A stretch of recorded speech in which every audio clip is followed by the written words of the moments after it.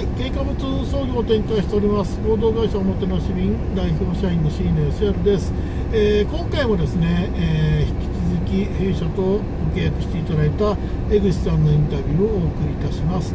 江口さんよろしくお願いいたします。よろしくお願いします。はい、ではですね江口さん、えー何が決め手となっておもてなし便とご契約していただきましたか？はい、えーまず定年がないっていうことですね。はい。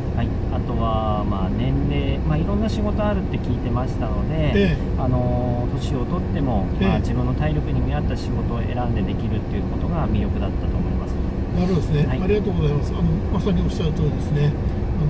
あのまあ仕事の幅が広いので、まあ、そこが一つの魅力だというふうに思います。はい。ということで江口さんのインタビューはまだまだ続きますがまた次回ということになります。